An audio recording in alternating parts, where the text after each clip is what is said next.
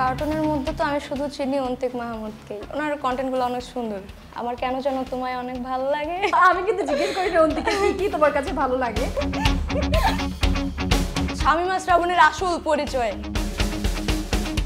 একটা সিনিয়র ভাইয়া ছিল ও আমাকে পছন্দ করত। খুব বেশি হেড কমেন্ট আমি দেখি না শুধুমাত্র আমার চুল ছাড়া। যখনই বলি যে অন্য কাউরে নিয়ে আসব তুমি বাদ তোমার দিয়ে আর কিছু করব না। এসএসসিতে যখন প্রথমবার ফেল করছি প্রথমবার বলতে? প্রথমবার যখন আঠারো সালে ফার্স্ট আমি ফেল করছি তারপরে আবার করছি তারপরে যেহেতু পাস হয়েছে গুড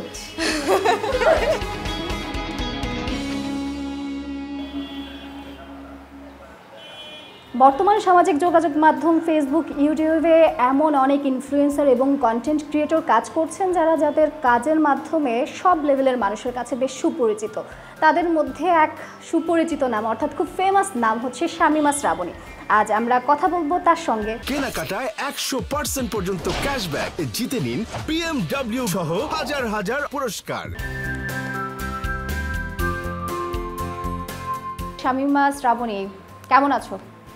এই তো ভালো। আচ্ছা এখন কোনো কন্টেন্ট মেকিং এর কাজ কি চলছে? হ্যাঁ। কি নিয়ে? সেটা হচ্ছে ইয়ামিন যখন প্রথম স্কুলে ভর্তি হয়েছিল আর কি যখন নতুন নতুন ক্লাস করা শুরু প্রথম দিনের হ্যাঁ, স্কুলের এক্সপেরিয়েন্স নিয়ে একটা হ্যাঁ content সেটা নিয়ে আর কি একটা ভিডিও ইয়ামিনকে দেখতে পাচ্ছি না? ও আর কি এখন বাসায় আছে। ওর বাসায়? হ্যাঁ। আর ইয়ামিনের ভয়েসটা কিন্তু খুবই একটা সফট আর সবাই কিন্তু খুব পছন্দও করে। আর এছাড়াও কিন্তু তুমি এই যে ফ্যামিলি মেম্বার ছাড়াও কিন্তু বাইরের কিছু কাজ করেছ গার্মেন্টস কর্মীদের নিয়েও কাজ করেছ। তো ওইটাও কি তোমার এক্সপিরিয়েন্স থেকে কিংবা কারও থেকে শুনে নাকি? ওইটা ছিল আর কি কি বলে? মানে আমরা আগে যেখানে থাকতাম আশেপাশে অনেক গার্মেন্টস এর ইয়েগুলো ছিল আর কি মানে যারা কর্মচারী ছিল। ওদেরও কিছু কাহিনী আর কি এরকম আমি দেখছি অনেক যে গার্মেন্টসে চাকরি করে সারাদিন বাট বাসায় আসার পরেও ঠিকই ওই রান্না বান্না করতে হইতেছে আবার ওই ওর হাজব্যান্ডের হাতে পিটানি খাইতে হইতেছে। এরকম আর কি অনেকগুলাই দেখা। সেখান থেকে আর কি এটা একটু সাজানো। কন্টেন্ট মেকিং কিন্তু বড় একটা গুণ। মানুষ এটা কিন্তু ইন্টেলেকচুয়াল লেভার সো এটার পাশাপাশি কিন্তু তুমি আবার বইও লিখেছো। তোমার একটা বই লাস্ট বের হয়েছে। তো ওই বইয়ের লেখালেখির প্ল্যান কি নতুন করে হয়েছে নাকি আগ থেকে? ছোটবেলা থেকে মানুষের থাকে না টুকটাক লেখালেখি করতো ওইরকম থেকে? না ওরকম কিছু ছিল না আর কি বইটা বের হয়েছে আদর্শর থেকে ওনারা আমার বলল যে আর কি বইমেলায় চাইলে একটা বই বের করতে পারো আচ্ছা তাদের রিকোয়েস্টে হ্যাঁ। তো ইয়ামিনের এই যে এত এত সুন্দর সুন্দর ডায়ালগগুলো দেয় এত কিউট করে করে দেয় এগুলো কি তুমি শিখিয়ে দাও নাকি ও নিচ থেকে বলে? এটা ওর নিচ থেকে বের হয়। যেমন নিচ থেকে বের হলে তাহলে রেকর্ড করো কীভাবে? রেকর্ড করে বলতে পরে আবার আমি ওটা লিখে রাখি যে এটা আমার নতুন ভিডিওতে ঢুকাইতে হবে। তখন তাকে কনভিন্স করার জন্য অনেক কিছু করতে হয় আগে। কনভিন্স করার জন্য এখন এই যে লাস্ট টুনটুনি ভিডিওটা বের হয়েছে একটা বিড়াল নিয়ে স্টোরি এই যে এটা। আচ্ছা আচ্ছা। হ্যাঁ। হ্যাঁ হ্যাঁ। এই বিড়াল নিয়ে যেটা হয়েছে এটার মধ্যে অন্য একটা মেয়ে ভয়েস দিছে। যখনই বলি যে অন্য কাউরে নিয়ে আসব তুমি বাদ তোমার দিয়ে আর কিছু করব না। তখন আর কি ভিতরে একটু যখন হিংসা হয় তখন আমার অন্য কেউ আসবে। এটা কি মেনে নেওয়া যায় কিনা? ওই তো তখন আর কি আহ, মানে কাজ করার জন্য একটু আগ্রহ দেখায়। একটা ডায়লগ দরকার পড়লে তিন চারবার করেও বলে কিন্তু এমনি ওর ভাবের চোটে আর কি থাকা যায় না। কাজ করতে চায় না ওরকম। প্রচুর ভাব। কেনাকাটায় একশো পার্সেন্ট পর্যন্ত ক্যাশব্যাক জিতে নিন বিএমডব্লিউ সহ হাজার হাজার পুরস্কার। এই যে কন্টেন্ট মেকিং এর প্ল্যানটা কার্টুন নিয়ে কাজ করার প্ল্যানটা কবে থেকে শুরু হলো? এসএসসিতে যখন প্রথমবার ফেল করছি তখন থেকে যে কাজবার বলতে? প্রথমবার যখন আঠারো সালে ফার্স্ট আমি ফেল করছি তারপরে আবার করছি তারপরে যে একটু পাস হয়েছে। গুড গুড কনগ্রাচুলেশনস শতভাগ পাশের সময়ে ফেলটা মানে খুবই আসলে রেয়ার একটা ব্যাপার। তো হচ্ছে যে এটা নিয়ে কি বাসায় কোনো বকা টকা শুনতে হয়েছে প্রথম যখন ফেল করছি তখন অনেক কান্না করছি কিন্তু পরের বার সব নর্মাল হয়ে গেছে। কারণ আমি জানি আমি ম্যাথে কীরকম ম্যাথমেটিক্সে আচ্ছা। প্রথমের দিকে যখন ফেল করছি তখন একটু কথা শুনতে হয়েছে বিয়ে দিয়ে দিব বা কিছু করব। তো তখন আর কি একটু মনে ভয় ঢুকছে যে দরকার নেই এখনই বিয়ে করার। আর আমার দেশের বাইরে ঘোরার অনেক ইচ্ছা তো এখনই বিয়ে করলে সব শেষ। তো এই কারণে আমি আর কি নিজে নিজে কাজ করা শুরু করলাম যেন পরের বারে রেজিস্ট্রেশনের টাকাগুলো আমিই দিতে পারি। বাসা থেকে আর বেশি কথা না শুনতে হয় ঠিক আছে? এই কারণে আর কি তখন এটা কি থার্ড টাইম দেওয়ার পরে এই চিন্তা ভাবনা না প্রথমবার থেকেই। মানে আঠারোতে? হ্যাঁ প্রথমবার থেকে তো তারপর প্রথম কাজ শুরু করলাম যে ঘুরে সবাইকে মানে অ্যাপস ইনস্টল করে দিতে হতো সেটার পরে আরও অনেকগুলা কাজ করছি যেমন কিছু প্লেগ্রাউন্ডে কাজ হয়েছে তারপর একটা হসপিটালে আর কি অ্যাসিস্ট্যান্ট ছিলাম আর কি। আচ্ছা আচ্ছা। নর্মাল পজিশনে কারণ আমি কোনো নানা এক্সপেরিয়েন্স হ্যাঁ কোনো একটা কাজে আর কি টিকতাম না। কারণ মেজাজ খুবই গরম। একটা ইয়াতে কাজ করতাম অফিসে সেখানে হচ্ছে আমি কাউন্টারে ছিলাম। হ্যাঁ সেখানে হচ্ছে টিকিট ইয়ে করার। তো ওইখানে একটা সিনিয়র ভাইয়া ছিল ও আমাকে পছন্দ করতো। আমি এখন তখন একদমই বাচ্চা মানুষ আমি এখন কি প্রেম করব ওনার সাথে? তো উনি যখন আমার প্রপোজ করছে আমি না করে দেওয়ার পরে উনি আমার মানে এমন ভাব যে উনি আমার দেখতেই পারে না। কিছু হইলেই শুধু ঝাড়াঝাড়ি শুরু করে, তো ওটা আমি নিতে পারি নাই। আমি যত বেশি চারা হই না কেন মানে কি বলো যে ঝাড়ি টাড়ি দিয়ে দেয় না, কিন্তু আমি অন্য কেউ আমার ঝাড়ি দিলে তখন আমি নিতে পারি না, ঠিক আছে? তো উনি যখন একটা ঝাড়ি দিয়ে বসছে, তো তখন আমি একটু চিলাচিলি করছি, আর ওই অফিসের মধ্যে চিলাচিলি করলে ওটা সবারই চোখে পড়বে, তো ওইখান থেকে কাজটা ছাড়তে হয়েছে আর কি। তো যেটা বোঝা গেছে যে তোমার আসলে খুব শর্ট টেম্পার অন্য কাজ তোমাকে স্যুট করে না। কার্টুন বানাও ঘরে বসে সেটাই আসলে তোমার জন্য মানে খুব কমফোর্টেবল হবে। অনেকেই তো আছেন যে কার্টুন প্লাস অ্যানিমেশন এগুলো মেক করছে। তো কার কাজ তোমার খুব বেশি দেখা হয়? কার্টুনের মধ্যে তো আমি শুধু চিনি অন্তিক মাহমুদকে কাউকেই ছিল না।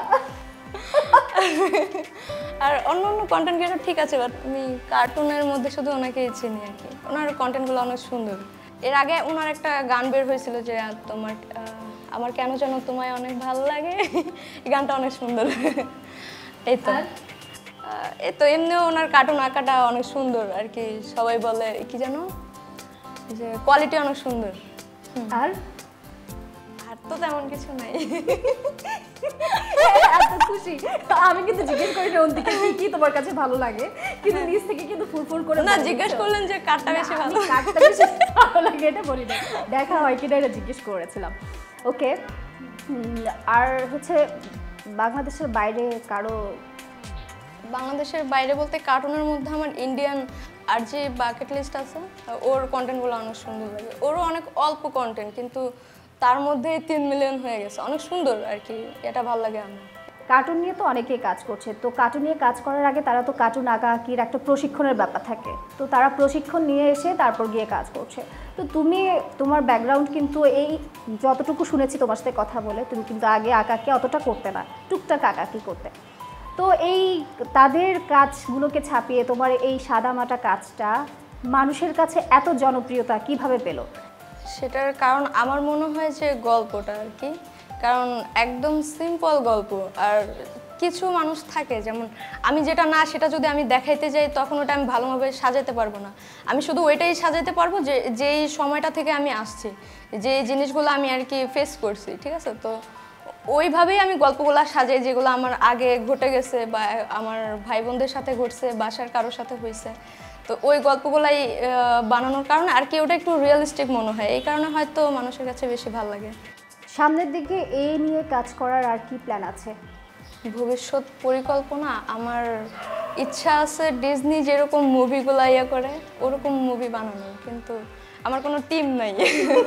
একা একা কাজ করে এক বছরে। টিম নাই কিন্তু তোমার ফ্যামিলির বিশাল একটা টিম ওরা শুধু আছে মানে ভয়েস দেওয়ার জন্য। মানে কোন একটা ক্যারেক্টার বানাইছে ওটাতে যে কেউ কথা দিতে হবে ওরা দিতে পারবে। বাট মেন কাজটা তো হইতেছে অ্যানিমেশন করাটা। তো ওইটাতেই সবচেয়ে বেশি টাইম যায়। যেমন লাস্ট ভিডিওটা আমার অনেক দিন পর আসছে। হ্যাঁ কারণ এটাই এটাতে একটু আর্ট করার ইয়াটা বেশি ছিল। যেমন ব্যাকগ্রাউন্ডটা যদি বেশি হয়, তখন আর্ট করতে টাইম অনেক যায়। তারপর কার্টুন মানে কি বলে টাইমটা যত বেশি হবে কার্টুন আঁকাতেও অনেক বেশি টাইম দরকার পড়বে। তো ওইটা আমি একা করতে করতে আর কি আমার সারা বছর শেষ হয়ে যায়। অনেকেই বলে যে শামিমা শ্রাবণী একটু অন্যরকম, একটু অ্যারোগেন টাইপের কারোর সাথে কথা বলে না একটু মুডি টাইপের এই সম্পর্কে তোমার কাছে কেমন লাগে? মানে এগুলো এইসব যখন শুনো কিংবা কেউ যখন বলে। খুব বেশি হেড কমেন্ট আমি দেখি না। শুধুমাত্র আমার চুল ছাড়া। আমার চুল কারোই ভালো লাগে না আমার ছাড়া। হ্যাঁ তো চুল সবাই বলে যে এরকম হবে কেন বা কিছু। আমি চুল কাটছি কারণ আমার বড় চুলগুলো আমার ভালো লাগতো না। তবে এটা ভালো খুব ছিল আমার চুল ছাড়া। যেভাবে দিয়েছ খুব সুন্দর ছিল। ওই তো আর কি চুন নিয়েই সবার যত কথা থাকে। এছাড়া আর তেমন আমি কিছু দেখি না আর কি। সবাইকে এটা বলে শামিমা শ্রাবণের হাসিটা খুব সুন্দর মিষ্টি। এমন কোনো কমেন্টস পেয়েছ? হুম। আমি আজকে সামনে থেকে তোমাকে করলাম আসলে অনেক সুইট করে হাসো।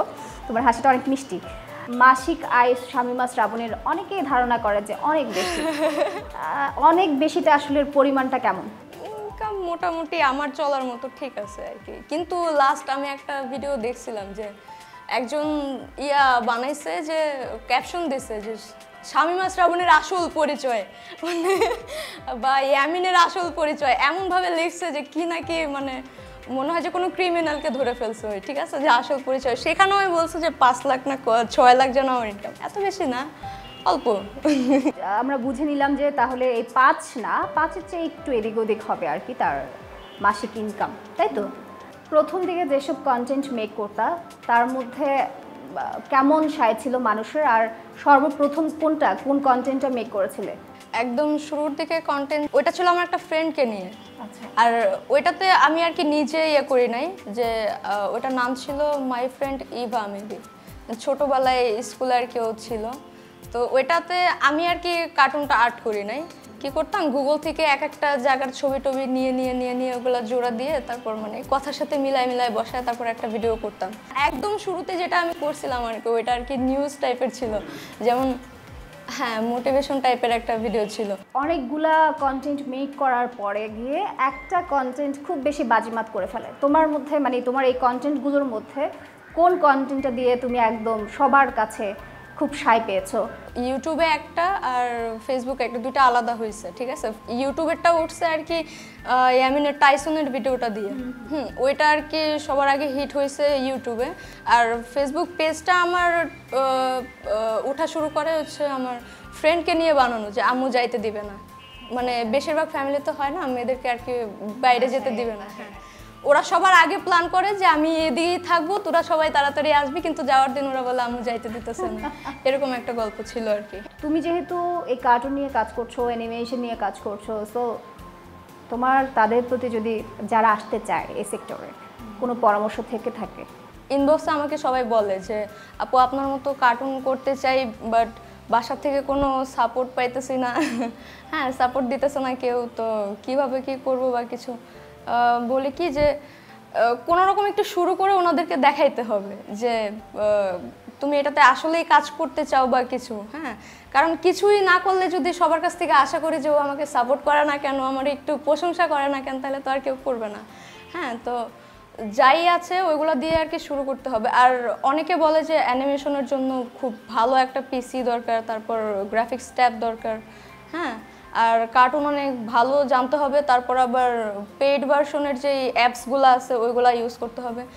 এত কিছুর দরকার নেই, যেহেতু শুরুর দিকে শুরু করতেছে তো যার পিসি আছে মানে যার কম্পিউটারটা আছে, তার তো ঠিক আছে, ওই চাইলেই মাউস দিয়ে করতে পারবে।